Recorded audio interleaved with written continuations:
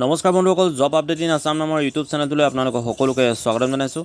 মোৰ এই চেনেলটোত দৈনিক নতুন নতুন চাকৰি লেটেষ্ট ইনফৰ্মেশ্যন আৰু বহুতো খবৰ আপডেট দিয়া হয়।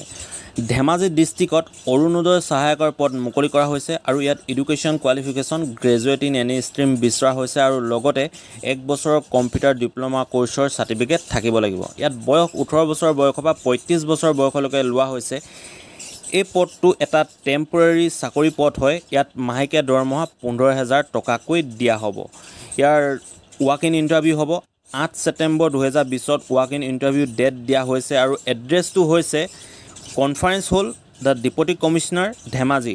আৰু চাৰে দহ বজাত আপোনালোকে ৰিপৰ্ট কৰিব লাগিব দ্য ডিপুটি কমিশ্যনাৰ ধেমাজি অফিচত আৰু আপোনালোকে সকলো অৰিজিনেল বায়'ডাটা লৈ যাব লাগিব photo identity proof all educational experience certificate আদি সকলো আপোনালোকে লৈ যাব লাগিব আৰু আঠ ছেপ্টেম্বৰ দুহেজাৰ বিছৰ দিনা ধেমাজিৰ ডিপুটি কমিশ্যনাৰ অফিচত যাব পাৰিব। মোৰ এই তলৰ ডেছক্ৰিপশ্যনত ইয়াৰ ন'টিছখন দি দিছোঁ। আপোনালোকে ক্লিক কৰি সকলো ডিটেইলছ পঢ়ি চাব পাৰিব। যদি আপোনালোকে এনেধৰণৰ আৰু নতুন নতুন চাকৰি লেটেষ্ট ইনফৰ্মেশ্যন বা অন্যান্য খবৰ জানিবলৈ বিচাৰে তেনেহ'লে মোৰ এই চেনেলটোক ছাবস্ক্ৰাইব কৰি দিব আৰু কাষত থকা বেল আইকনটো দবাই দিব। ইয়াৰ উপৰিও লাইক কমেণ্ট আৰু শ্বেয়াৰ কৰিব নাপাহৰিব। ধন্যবাদ।